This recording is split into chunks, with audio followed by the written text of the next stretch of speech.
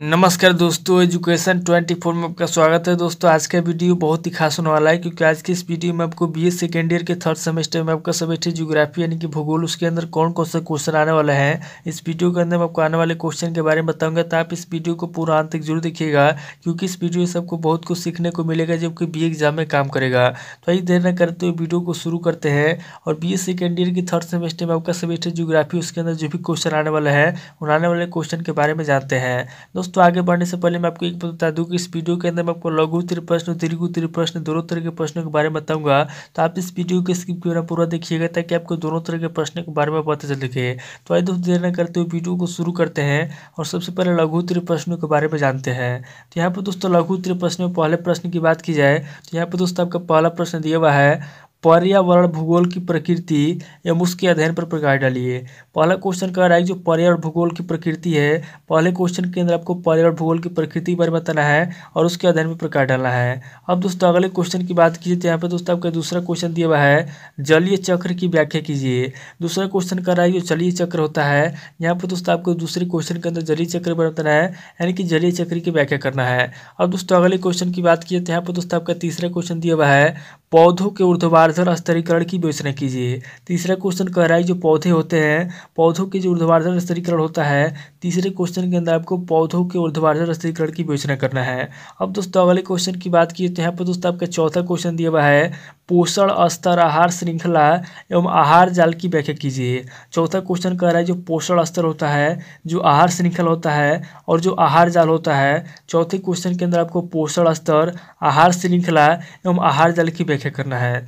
अब दोस्तों, अगले क्वेश्चन की बात किए थे यहाँ पर दोस्तों, आपका पांचवा क्वेश्चन दिया हुआ है, बायोम का वर्गीकरण समझाइए। पांचवा क्वेश्चन कह रहा है कि बायोम जो होता है, यहाँ पर दोस्तों पाँचवें क्वेश्चन के अंदर आपको बायोम का वर्गीकरण करना है, यानी कि बायोम के बारे में आपको बताना है। अब दोस्तों, अगले क्वेश्चन की बात की तो यहाँ पर दोस्तों आपका छठा क्वेश्चन दिया हुआ है, भू जैव रसायन पर टिप्पणी लिखिए छठा क्वेश्चन कह रहा है जो भू जैव रसायन होता है, छठे क्वेश्चन के अंदर आपको भू जैव रसायन पर टिप्पणी लिखना है। अब दोस्तों, अगले क्वेश्चन की बात की तो यहाँ पर दोस्तों आपका सातवां क्वेश्चन दिया हुआ है टाइगर प्रोजेक्ट का वर्णन कीजिए। सातवें क्वेश्चन कह रहा है जो टाइगर प्रोजेक्ट है। सातवें क्वेश्चन के अंदर आपको टाइगर प्रोजेक्ट का वर्णन करना है।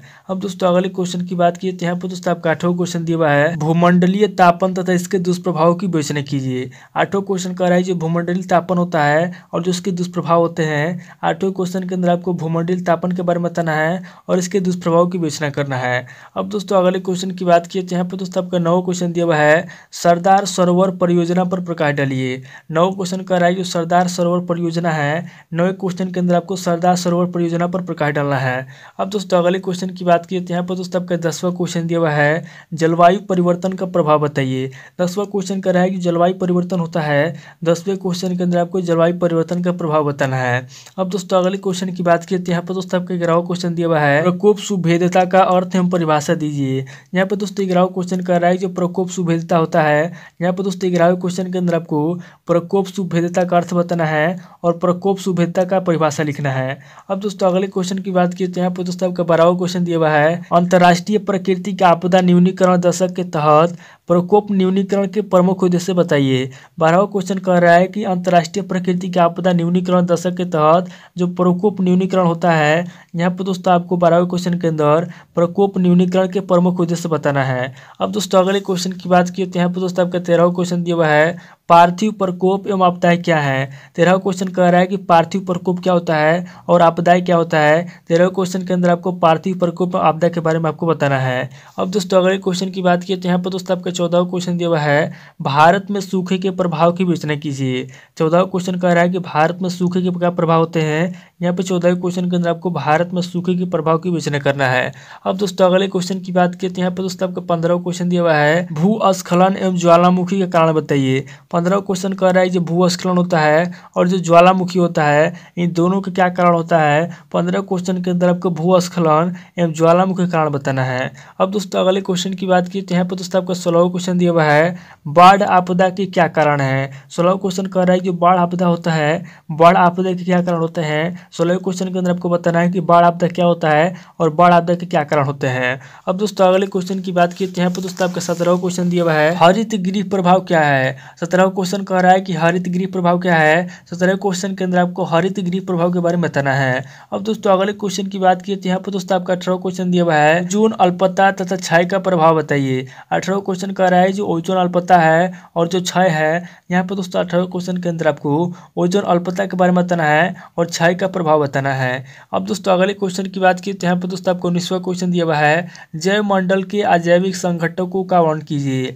यहाँ पर दोस्तों उन्नीसवा क्वेश्चन कर रहा है जो जैव मंडल होता है, यहाँ पर दोस्तों आपको जैव मंडल के अजैविक संगठनों का वर्ण करना है, यानी कि जैव मंडल के जो अजैविक संगठक होते हैं, यहाँ पर दोस्तों उन्नीसवें क्वेश्चन के अंदर आपको जैव मंडल के अजैविक संगठनों का वर्ण करना है। अब दोस्तों अगले क्वेश्चन की की तो यहाँ पर दोस्तों आपका बीसवा क्वेश्चन दिया हुआ है, पारिस्थितिक पिरामिड या स्तूप पर प्रकाश डालिए। यहाँ पर दोस्तों बीसवा क्वेश्चन दिया हुआ है कि जो पारिस्थितिक पिरामिड या स्तूप होते हैं, यहाँ पर दोस्तों बीसवें क्वेश्चन के अंदर आपको पारिस्थितिक पिरामिड या स्तूप पर प्रकाश डालना है। ये दोस्तों टोटल आपके बीस क्वेश्चन होंगे जो कि आपके लघु उत्तरीय प्रश्न पूछेंगे। अब दोस्तों आगे हम लोग दीर्घ उत्तरीय प्रश्नों के बारे में जानेंगे। तो यहाँ पर दोस्तों दीर्घ उत्तरीय प्रश्न में पहले प्रश्न की बात की जाए तो यहाँ पर दोस्तों आपका पहला प्रश्न दिया हुआ है, सूखा प्रकोप एवं आपदा और प्रबंधन की विवेचना कीजिए। पहला क्वेश्चन कह रहा है जो सूखा प्रकोप होता है और जो आपदा होता है, यहाँ पर दोस्तों पहले क्वेश्चन के अंदर आपको सूखा प्रकोप एवं आपदा और प्रबंधन की विचना करना है। अब दोस्तों अगले क्वेश्चन की बात की तो यहाँ पर दोस्तों आपका दूसरा क्वेश्चन दिया हुआ है, बाढ़ के कारण एवं प्रभाव का वर्ण कीजिए। दूसरा क्वेश्चन कह रहा है कि बाढ़ के क्या कारण होते हैं? यानी कि बाढ़ कैसे आता है? बाढ़ के क्या कारण होती है? यहाँ पे आपको सबसे पहले कारण बताना है कि बाढ़ के क्या कारण है। उसके बाद आगे आपको प्रभाव का वर्ण करना है।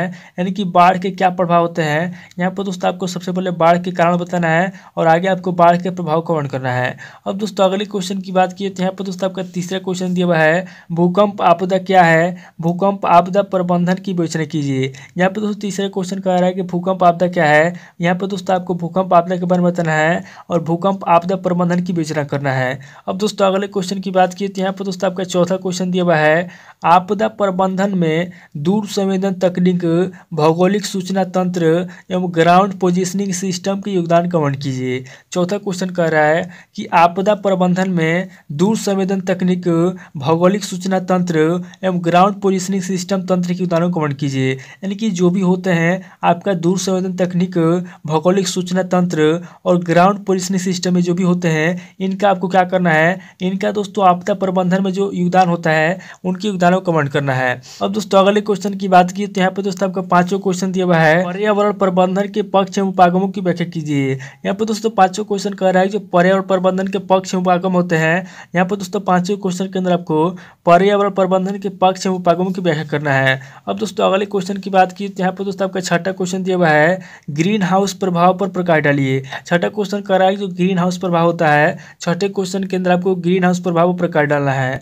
अब दोस्तों, अगले क्वेश्चन की बात की तो यहाँ पर दोस्तों आपका सातवां क्वेश्चन दिया हुआ है। टिहरी बाँध के पर्यावरणीय प्रभाव का मूल्यांकन कीजिए। सातवां क्वेश्चन कह रहा है जो टिहरी बाँध होता है, यहाँ पर दोस्तों आपको टिहरी बाँध के जो पर्यावरणीय प्रभाव है टिहरी बाँध के पर्यावरणीय प्रभाव का मूल्यांकन करना है। अब दोस्तों, अगले क्वेश्चन की बात की तो यहाँ पर दोस्तों आपका आठवां क्वेश्चन दिया हुआ है, जल प्रदूषण क्या है? जल प्रदूषण को रोकने के प्रमुख उपायों का वर्ण कीजिए।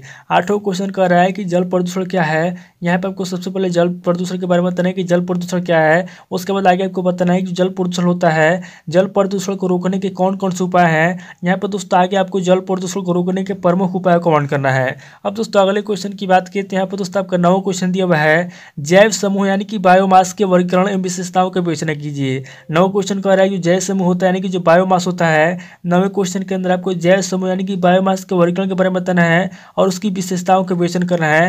यानी कि जो बायोमास होता है, यहाँ पे आपको सबसे पहले बायोमास का वर्गीकरण करना है, उसके बाद बायोमास का विशेषता बताना है। अब दोस्तों, अगले क्वेश्चन की बात की तो यहाँ पर दोस्तों आपका दसवां क्वेश्चन दिया हुआ है पर्यावरण की परिभाषा देते हुए उसकी विशेषताओं और प्रकारों को समझाइए। यहाँ पर दोस्तों दसवां क्वेश्चन कह रहा है जो पर्यावरण होता है। सबसे पहले आपको पर्यावरण की परिभाषा देना है कि पर्यावरण की परिभाषा क्या होता है। उसके बाद आगे कह रहा है कि उसकी विशेषताओं और प्रकारों को समझाइए। यानी जो पर्यावरण होता है, आगे दोस्तों आपको पर्यावरण की विशेषताओं के बारे में बताना है और पर्यावरण कितने प्रकार का होता है, उसके प्रकारों को समझाना है। तो ये थोड़ी टोटल आपके दस क्वेश्चन होंगे जो कि आपके दीर्घ उत्तरीय प्रश्न पूछेंगे। दोस्तों इस वीडियो के अंदर मैंने आपको लघु उत्तरीय प्रश्न और दीर्घ उत्तरीय प्रश्न दोनों तरह के प्रश्नों के बारे में बता दिया, आप इन दोनों तरह के प्रश्नों को नोट कर लीजिए और किसी किताब से श्री सिम मिला करके याद कर लीजिए। दोस्तों, आज इस वीडियो को मैं पे स्किप करता हूँ। मिलता आपसे नेक्स्ट वीडियो में। अगर आपको वीडियो अच्छा लगा तो वीडियो को लाइक कीजिए शेयर कीजिए और कमेंट करके बताइए कि आपको नेक्स्ट वीडियो किस टॉपिक के ऊपर चाहिए। थैंक यू दोस्तों।